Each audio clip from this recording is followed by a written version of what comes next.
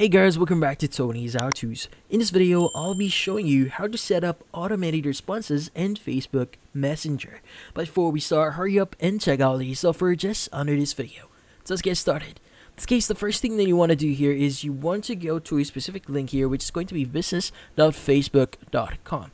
Now, once in here, what we need to do first is we need to guarantee that we are using our correct Facebook page. Now at the top left you have your Facebook name so in this case go ahead and click on it and switch over to your Facebook page. Now in this case once you've selected that what we need to do next is we now need to access our tools. Now the left panel here go ahead and click on all tools and under all tools you need to look for your inbox. Let's go ahead and click on inbox. Now, in here, what we need to do next is we need to look for the automation section, which in this case, at the top right, that's where your, or your automations is actually included. Now from here, what we need to do is we need to create our automation. Let's go and click on create automation at the top right here. And you want to go and select one of the templates that they have. So we have instant reply, away message here, comment uh, to message, location, contact information. So in this case, for example, we wanted to use the instant reply option here. Now in this case, let's go ahead and click on create automation at the bottom right once you've selected that. Now from here, we want to basically, uh, in, uh, in this case, indicate what channel that we want to actually use here. So for example, we want to use Messenger.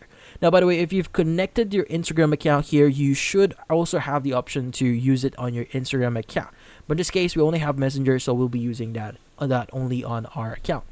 Now in this case, it's going to say when this happens, uh, the page receives a message on the selected platform. So by default, that is going to be it's going to be happening. And take this action. So in this case, apply instantly to customer.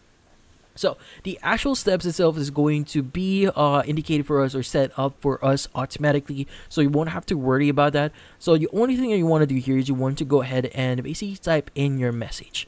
Now in this case, go and start uh, customizing this one and if you want to add personalization into your message, you could actually use the smiley or emoji icon here, which in this case allows you to add emojis into your uh, actual uh, uh, message here. But you also have the personalize your message option. So once you click on it, you also have the option to add the first name of the recipient, last name, full name, or even Facebook page name, or even Facebook page link, or the website that you've added on your Facebook page.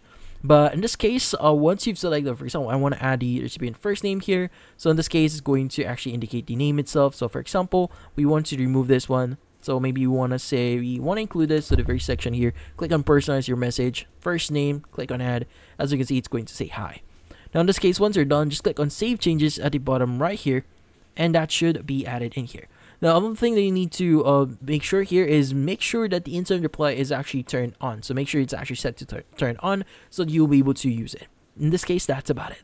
So, if you found this video helpful, hit the like and subscribe button and watch our next video.